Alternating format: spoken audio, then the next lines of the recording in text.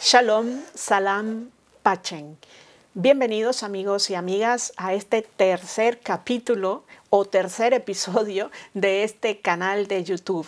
Eh, antes de empezar el tema de hoy, quiero agradecer de verdad, pero mucho, eh, todos los me gusta y todos los eh, comentarios que me habéis dejado en los dos anteriores vídeos la verdad es que me ha sorprendido mucho, eh, no me esperaba tan buena acogida y mm, bueno, os invito a que si queréis que siga mm, compartiendo algo de estos temas con vosotros, sigáis dándole al me gusta, sigáis comentando y sigáis compartiendo el vídeo en todas vuestras redes sociales. Muchas gracias, de verdad, muchísimas gracias. Eh, hoy vamos a hablar de un tema que me ha pedido una de mis seguidoras y amiga en Twitter, eh, Vero, de Colombia, eh, me pidió que hablara de este tema. Parece ser que es un tema que está preocupando mucho, sobre todo a los amigos de América Latina, aunque creo que los de aquí, de España o Europa, no tendríamos que desentendernos tanto porque yo por lo menos lo estoy viviendo muy de cerca. ¿Y cuál es el tema? Bueno, pues el tema es eh, cómo saber cuando nos llega un mensaje eh, si ese mensaje hay que compartirlo o no hay que compartirlo, sobre todo cuando se trata de mensajes que son religiosos y que pueden tocar nuestra conciencia eh, si no los compartimos. Bien, te suena el móvil. Te suena el móvil. Ahora, ha sonado el móvil. Te suena el móvil y miras, eh, miras y resulta que es un WhatsApp. Es un WhatsApp y lo que nos encontramos es un mensaje, un mensaje como este. Vamos a verlo. Bien, ¿qué hacemos ante mensajes que mm, nos ofrecen eh, una oportunidad si lo compartimos o nos dan una amenaza si no lo compartimos? ¿Qué hacemos ante estos mensajes que además a veces no son ni buenos ni malos, sino que te presionan para que los compartas, que son eh, a veces oraciones, a veces supuestas frases del Papa Francisco, otras veces son amenazas de que te van a obligar a pagar WhatsApp o te van a quitar un servicio si eso no lo compartes con al menos 10 personas, etcétera, etcétera, etcétera. Bueno, pues el temita, el temita resulta que no es un tema de ahora. El temita viene de lejos. Fíjense una cosa, son los dos y en su origen estos mensajes eh, temas religiosos, no necesariamente cristianos, obviamente no lo son, pero son temas religiosos, tocan esa fibra más sensible de religiosidad que tenemos los seres humanos. ¿Cómo se propagan esos mensajes?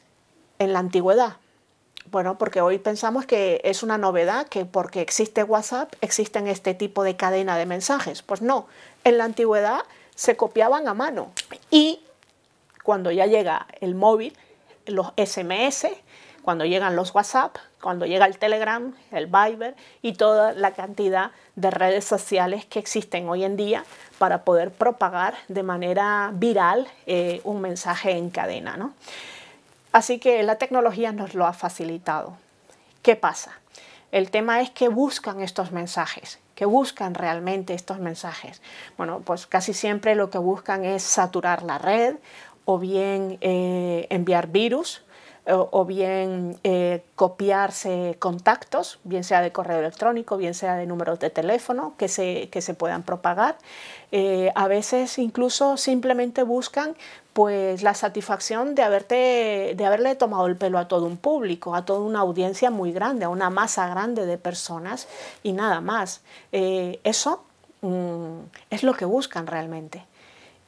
Y sin embargo nosotros caemos, caemos como verdaderos idiotas en compartir, porque a veces por miedo, a veces por conciencia de que tal, a veces porque creemos que, bueno, no le hará mal a nadie y caemos, caemos. Eh, ¿Cómo reconocerlos? Bueno, pues estos mensajes en realidad podemos reconocerlos porque, en primer lugar, te dicen que si no los compartes hay una amenaza, te va a pasar algo malo o si lo compartes te va a pasar algo bueno. En cuanto hay una amenaza, olvídalo, eso es falso, no, no hay que compartirlo. Eh, por mucho que te digan que si no le rezas a Dios y tal, no, no hay que compartirlo, porque Dios no es un Dios mago, Dios es otro tipo de Dios. Y aunque sean oraciones, da igual, las oraciones en realidad no son magia, son muchas cosas, mucho más, muchísimo más que eso. Lo vamos a ver más adelante. Eh, ¿De qué otro modo podemos reconocerlos? Bueno, pues yo creo que cuando se trata de noticias que son muy llamativas, que son muy eh, preocupantes, es mejor que antes de compartirlo vayamos a Internet y revisemos en Google, tanto si existe como verdadero como si no, vamos a saberlo a través de una búsqueda un poquito detenida. No seamos tan impacientes de compartir, no seamos tan preocupados que no, que el mundo va a seguir bien, ¿eh? que no va a pasar nada, que, que todo va a estar bien. Eh, bien, eh, ¿qué dice la Iglesia al respecto? Porque resulta que es verdad que nos amenazan que nos, nos van a cobrar WhatsApp o que nos amenazan de que tal cosa va a pasar, pero es que la mayoría de esos mensajes no van por ahí. La mayoría de los mensajes que al menos yo recibo son mensajes religiosos, son mensajes de oraciones o de frases del Papa o incluso son mensajes que, que, te dicen una situación preocupante y que hay que rezar por ella. Yo no sé cuántas veces me ha llegado el mensaje en que me dice que están a punto de entrar en Karakosh eh, los del Estado Islámico y que el padre no sé quién nos pide que recemos por, por esta ciudad porque va a caer en manos de los terroristas. Obvio, a mí me llega eso y si no sé lo que está pasando en Irak, en Caracas, obviamente me preocupo y quiero que haya más gente que rece. Nos manipulan. este tipo de mensajes utilizan nuestra buena voluntad, nuestros buenos sentimientos o a veces incluso otras cosas, pero en el fondo están haciendo una manipulación emocional de, de nosotros mismos. ¿no? Bueno, antes de reenviarlo, confírmalo, confírmalo, que si realmente eso está pasando, vamos a saberlo. Hoy eh, con Internet es muy fácil que las noticias nos lleguen prácticamente en tiempo real, incluso a los medios de comunicación. Eh, es muy rápido, la radio, la televisión, eh, incluso los digitales van a tener la noticia inmediatamente.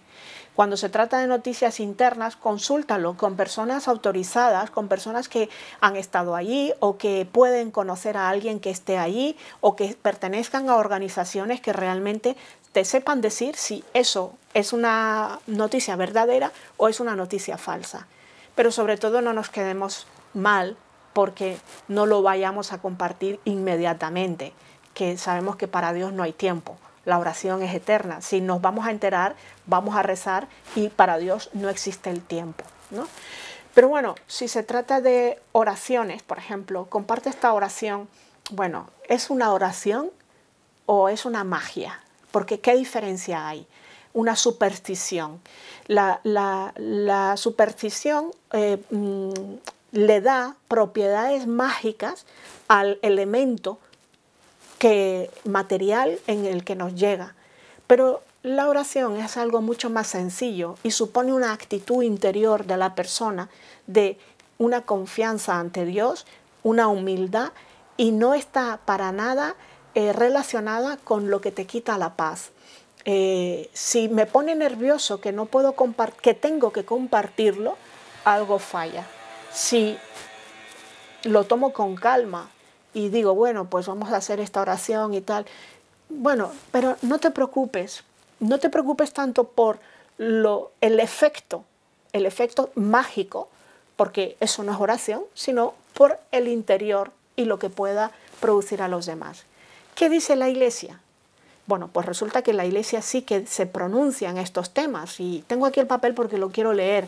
¿Qué, qué dice la iglesia al respecto? Pues mira, en el Catecismo de la Iglesia Católica, en el número 2111, o sea, 2111, pero todo seguido, eh, en este catecismo dice atribuir su eficacia a la sola materialidad de las oraciones o de los signos sacramentales, prescindiendo de las disposiciones interiores que exigen, es caer en la superstición.